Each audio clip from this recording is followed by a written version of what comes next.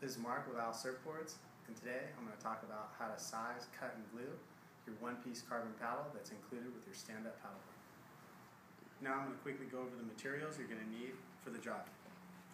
A hacksaw, some masking tape, a mixing cup and a mixing stick, a measuring tape, a sanding block, some paper towels, and some quick dry five minute epoxy that you can get at any Walmart or auto parts store for under five bucks. Now we're going to talk about how to correctly size your paddle. Rule of thumb is just take your height and add nine inches. As I mentioned before, the total paddle length should be nine inches above the height of the rider.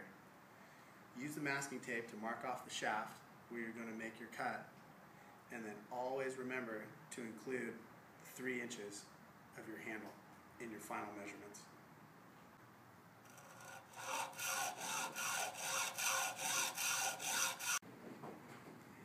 After you cut your paddle, use your sanding block or sandpaper to sand off any rough edges. Now that your shaft is cut and your handle is ready to go, simply take your two-part epoxy, squirt it into your mixing cup,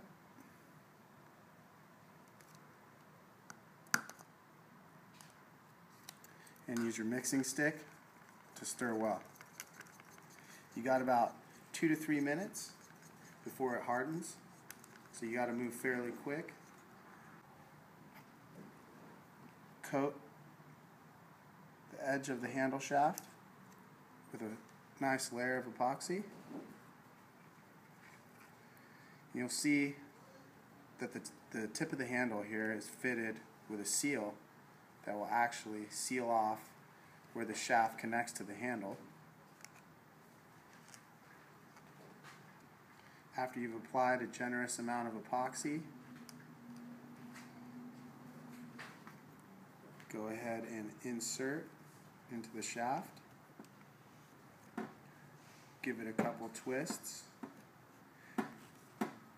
and line up parallel to the blade. Use your paper towels to wipe off the excess.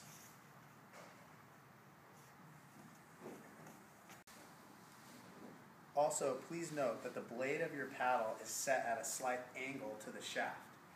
And always keep in mind, when paddling on your stand-up paddleboard, the angle of the blade should be pointed away from you.